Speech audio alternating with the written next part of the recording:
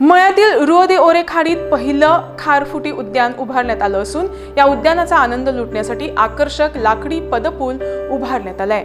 या पदपुलाचं लोकार्पण सोमवारी नगरविकास मंत्री फ्रान्सिस डिसोजा यांच्या हस्ते दिमाखात करण्यात आलं.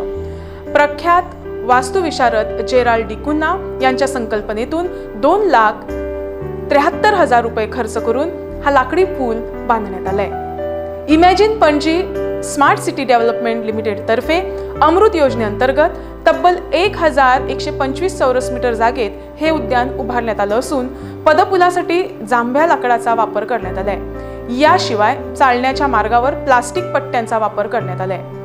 भारतीय सागरसृष्टीचं दर्शन घडवणारा हा प्रकल्प असून या प्रकल्पासाठी एकही खारफुटीचं झाड कापण्यात आलेलं नाही हे विशेष.